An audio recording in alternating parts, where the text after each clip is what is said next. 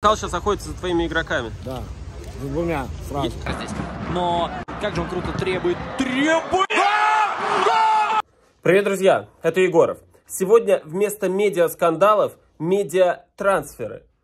И сегодня, похоже, становится ясно, кого Амкал хочет взять на замену Прокопа и кого Амкал хотел подписать из другой команды прямо по ходу медиа-лиги, что было вследствие перехода Гаучи в Тудроц. Теперь Амкал перекупает игроков Фила. Фил, я так понимаю, Амкал сейчас охотится за твоими игроками. Да, за двумя сразу. Я видел э, в интервью, что вроде как Мура переходит в, э, в Амкал. Переходит? Нет? Нет. Сразу скажу, с Мурой еще не все понятно, но есть куда более известный игрок, которого Амкал в ближайшее время подпишет, из-за которого Амкал, судя по всему, готов будет выложить достаточно много денег, в том числе на его зарплату. Это, кстати, удивительно, потому что от Сипскана мы постоянно слышим, что в Амкале игрокам ничего не платят. Но, видимо, бюджеты изменились, цели тоже изменились, и теперь Амкал хочет подписывать футболистов, не жалея финансов. Ну, кстати, про финансы. Хочу напомнить, что ставки лучше всего делать на BetBoom. Это лучший букмекер по версии премии «Спорт» и России. Вы все знаете про акции, читайте подробнее о них. У меня хмуро переходит в, в Амкал. Переходит? Нет? Нет. Тобой интересует Амкал? Ну, пусть Герман ответит на этот вопрос. Если он уже ответил. Ну, слушай, если Герман подтвердит, Ну, я, я скажу, что так или нет. Ну, а тебе интересно? Или ты за реалити? слушай, я, я первое место в МКС занял. Ну. Как бы, блядь, я не знаю, что лучше может что быть. Ну, хорошее предложение, ну, типа Амкал, топ, что я могу сказать. Посмотрим, что дальше будет. Я не, ну, все возможно. Ну ты пока... Ну, это сезон, это МФЛ, ты доиграешь в реалити? Под вопросом.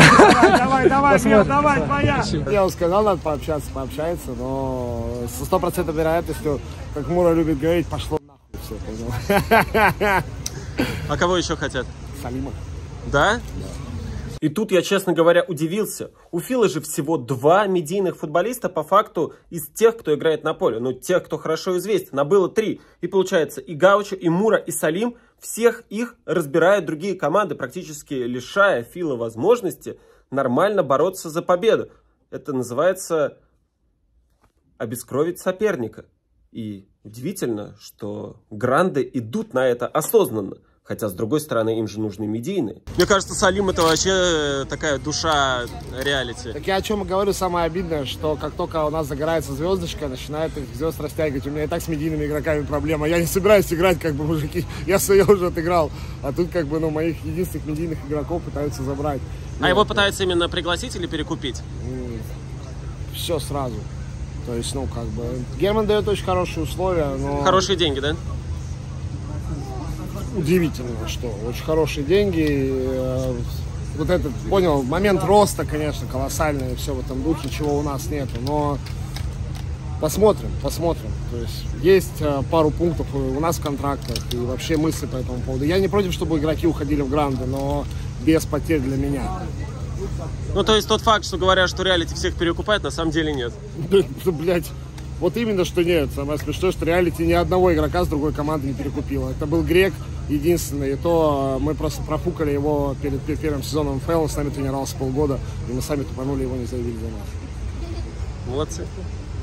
На пресс-конференции очень хотелось поговорить с Алимом и узнать, ну, во-первых, естественно, сколько сейчас стоит играть за Амкал, каким будет дальше рынок, потому что ну, со стороны грандов, опять же, были заявления о том, что команды раздувают рынок и мешают там тому же Амкалу и Дротам, но, судя по всему, сейчас ситуация начинает меняться. Поэтому очень интересно было послушать Салима и в том числе узнать, а зачем вообще уходить уже, грубо говоря, из своей родной команды по ходу сезона.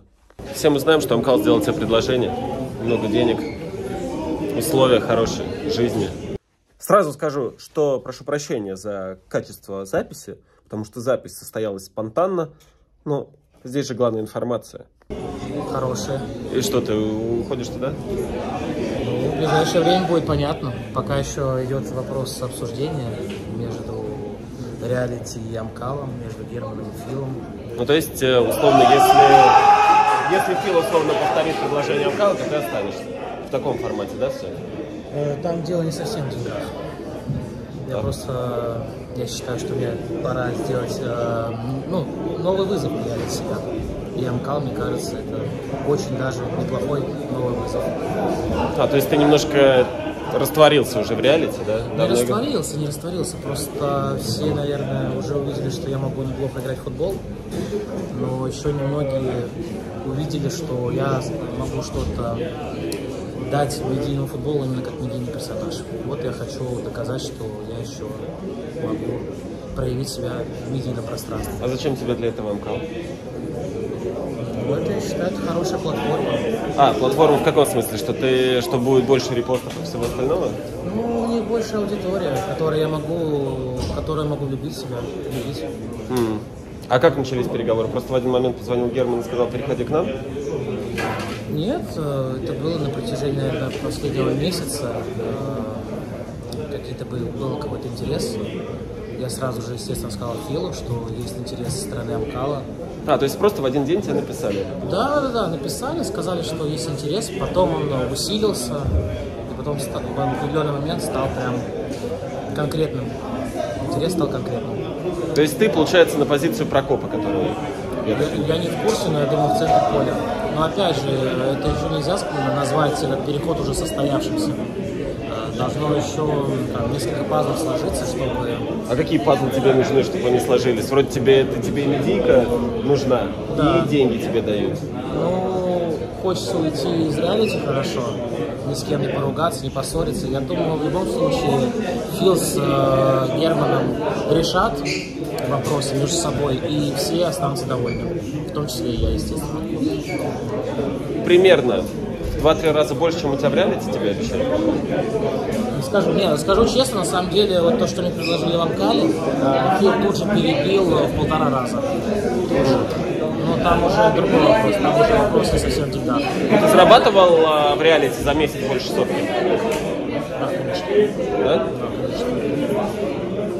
Понятно. То есть тебе уже под 300 последний раз предложили? Я не могу сказать. Понятно. Значит, вот эти вот наши переходы летние были не просто так, да?